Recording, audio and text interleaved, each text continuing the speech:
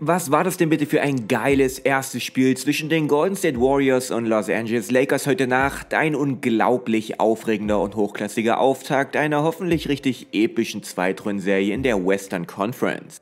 Alle Spieler waren mit dabei, die Stimmung war mega, das Spiel war lange eng, dann nicht mehr, dann wieder, dann wurde es dramatisch und am Ende konnten die Lakers das erste Spiel aus San Francisco klauen. Dieses Duell ist aus so vielen Gründen extrem spannend mitzuverfolgen, nicht nur für Leute wie mich, die das Ganze aus einer Fanperspektive schauen. Wie wir in den nächsten Minuten auch klar erkennen, trafen da heute zwei unterschiedliche Basketballphilosophien und komplett unterschiedlich spielende Teams aufeinander und ich kann es kaum erwarten, mehr davon zu sehen in den nächsten beiden Wochen. Aber nicht so schnell, ganz von vorne, die Lakers gewannen Spiel 1 mit 117 zu 112 und schnappten sich damit den Heimvorteil in dieser Serie. Anthony Davis war der mit großem Abstand beste Spieler auf dem Parkett, er spielte die gesamte zweite Hälfte durch und kam auf absurde 30 Punkte und 23 Rebounds. LeBron, Russell, Reeves und Schröder scorten ebenfalls zweistellig. Auf der anderen Seite scorten Curry, Thompson und Poole alle drei über 20 Punkte, vom Rest der Dubs kam allerdings nicht so viel. Golden State traf 21 Dreier und nahm 53, das sind knapp 40%, während die Lakers nur 6 ihrer 25 Dreier verwandeln konnten, dafür allerdings 25 Freiwürfe erfolgreich unterbrachten im Vergleich zu den 6 der Warriors und doppelt so viele Punkte in der Zone erzielten. Aber brechen wir das doch alles in den nächsten Minuten mal ein bisschen genauer runter und schauen uns detailliert an, was denn eigentlich genau passiert ist. Gefallen euch meine Videos, dann lasst ihr gerne ein Like und Abo da, aktiviert gerne die Glocke, so helft ihr mir, noch mehr basketballverrückte Leute mit meinen Videos zu erreichen. Starten wir doch erstmal mit der Defense der Lakers und die war auf der einen Seite teilweise so zu erwarten, auf der anderen Seite aber auch von der Idee her schon ziemlich extrem. Der Plan war einfach formuliert, wir verteidigen Steph Curry, Clay Thompson und Jordan Poole draußen an der Dreierlinie, alle anderen werden ignoriert.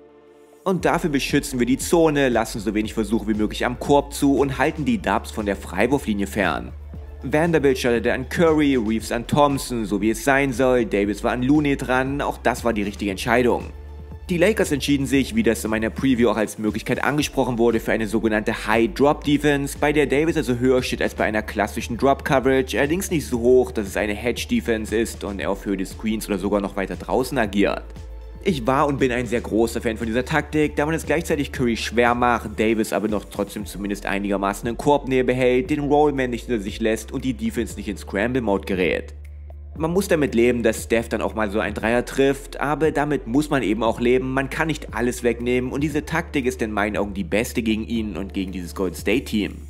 Genau so verteidigt man übrigens auch Clay Thompson. Hier sieht man, warum das so gut funktioniert. Clay hat kaum Platz für seinen Wurf, Davis allerdings zwischen ihm und dem Korb. Clay muss abstoppen, alles extrem schwer. Die Lakers holen den Stop. Was LA außerdem machte, war wie angesprochen die anderen Warriors Rollenspieler zu ignorieren, hier Gary Payton, weil es LA wichtiger war, den Korb zu beschützen und Versuche am Ring zu verhindern. Und deswegen will ich auch überhaupt nicht hören, dass sich Warriors-Fans über die Differenz bei den Freiwürfen beschweren. Wenn du nie in die Zone gehst und nur Dreier ballerst ohne Ende, dann gehst du halt auch nicht an die Linie und das Team, was am Korb gelebt hat auf der anderen Seite, wird eben auch häufiger gefoult. Ich fand es war insgesamt schon eine ziemlich fair gepfiffene Partie. Aber zurück zur Lakers Defense in Hälfte 1, denn natürlich musste man sich etwas gegen das gefürchtete Warriors Off-Ball-Game einfallen lassen. Man spielte sogenannte Top-Block-Defense gegen die Off-Ball-Shooter der Dubs, heißt man will ihnen den Laufweg nach oben wegnehmen und das gelang auch zu überwiegenden Teil ziemlich gut. Hier, weder Clay noch Steph kommen an den Ball, Davis ist als extra Help-Defender noch da, LeBron wäre bereit, falls Looney auf die Idee kommt, es selber zu machen und man lebt damit, dass Wiggins freigelassen wird. Die Warriors reagierten entsprechend mit Cut zum Korb, was so halb funktionierte, mal ja und mal nein. LA passte dann aber irgendwann besser auf und ließ diese in Hälfte 2 nicht mehr so wirklich zu. Golden State scorte aber trotzdem mehr als ordentlich im ersten Durchgang, was ein paar Gründe hatte. Zum einen machten die Lakers Defender mehrere Male echte Fehler, wie hier wo Reeves pennt und Poole frei wird. Oder hier wo Curry Offball seinen Verteidiger abschütteln kann. Dann gingen die Lakers immer wieder gegen Poole oder Thompson oder dem Screen durch, was diese bestraften und LA daraufhin abstellte.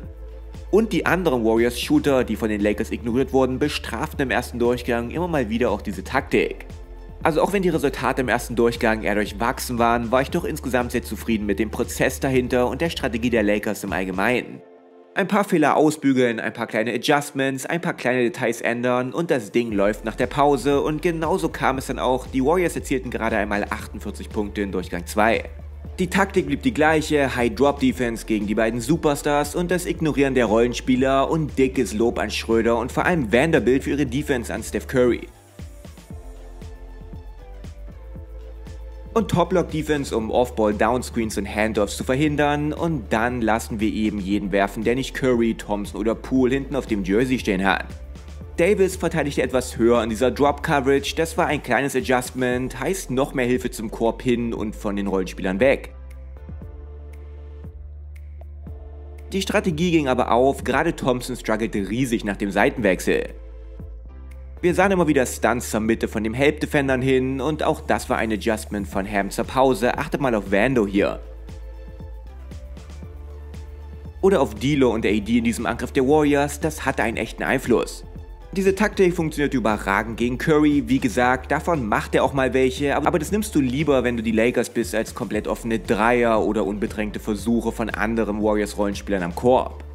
Steph Curry blieb extrem blass bis zu diesem Run der Warriors ab Mitte des vierten Viertels, dann glich man das Spiel aus und LA hatte ziemlich Glück, den Sieg mitzunehmen, die Führung aus der Hand zu geben, war richtig unnötig und fahrlässig. Als man auf einmal zweistellig vorne war, hörte man auf zu spielen, wurde sorglos und lud den Gegner wieder ein, zurück ins Spiel zu finden. Am Ende riss man sich da aber doch zusammen und holte den Sieg. Kommen wir darum mal zur anderen Seite des Parketts, auch dort zeigte LA über dreieinhalb Viertel eine sehr sehr stabile Leistung. Auch das wurde in meiner Preview von gestern thematisiert. Die Warriors haben defensive Schwachstellen und davon nicht wenige und genau das haben die Lakers auch angegriffen. Looney ist an sich kein schlechter Verteidiger, aber ihn um einen Downscreen herumgehen zu lassen, um AD zu verfolgen, ist eine zum Scheitern verurteilte Mission für ihn. Und ihn im 1 gegen 1 gegen Anthony Davis zu stellen ebenso. Jamaica Green wurde mal sowas von schnell vom Parkett wieder runtergespielt, während du Poole beispielsweise nicht so schnell benchen kannst, aber auch er wurde defensiv gnadenlos abused. Insbesondere Dennis Schröder hatte ein richtiges Vergnügen mit ihm, konnte machen was er wollte und zog in diesen Duellen immer wieder nach Belieben zum Korb. Dennis hat auf beiden Seiten des Parketts einen fantastischen Job gemacht, bitte unbedingt weiter so. Und auch Stephen Curry war ein gefundenes Fressen für die Lakers Guard. So oft es ging, involvierte man ihn in Isolations und Ballscreen Actions und das immer wieder mit Erfolg.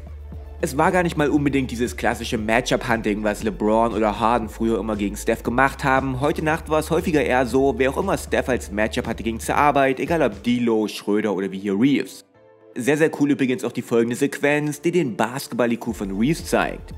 Ein Angriff später, als der, den wir gerade gesehen haben, zieht er nämlich wieder zum Korb, kickt so Vando raus und er weiß genau, dass Curry sofort chillt, weil man einfach kein Closeout gegen Vanderbilt laufen muss. Also relocated er, heißt rennt zurück in der Dreierlinie und kommt zu einem guten Look.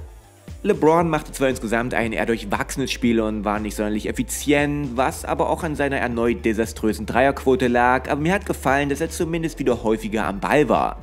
Er war mehrere Male erfolgreich im Post aktiv und wir sahen endlich auch mal wieder einen James Davis Pick and Roll. Ich dachte, ich traue meinen Augen nicht.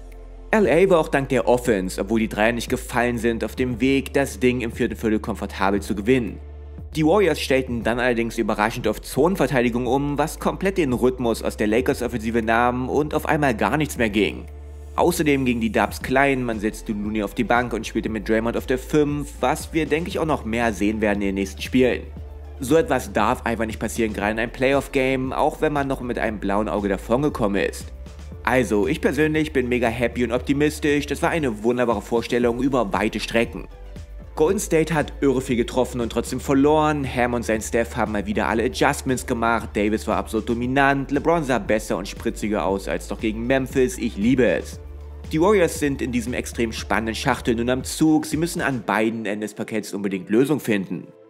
Gibt man Curry mehr den Ball und wenn ja, wie zieht man AD weiter weg vom Korb, um in der Zone mehr hochprozentige Chancen zu kreieren? Was macht man gegen das Matchup-Hunting der Lakers? Stellt man Green eher an Davis ran und versteckt Looney? Ist Zone Defense in Spiel 2 vielleicht sogar schon eher ein Thema? Absolut kein einfacher Job. Aber die Warriors werden zurückschlagen, man wird Adjustments machen und in Spiel 2 besser sein, da bin ich mir sehr, sehr sicher. Schreibt mir jemand in die Kommentare, was ihr von dem ersten Spiel der Serie gehalten habt. Danke fürs Anschauen, bis zum nächsten Mal und macht's gut.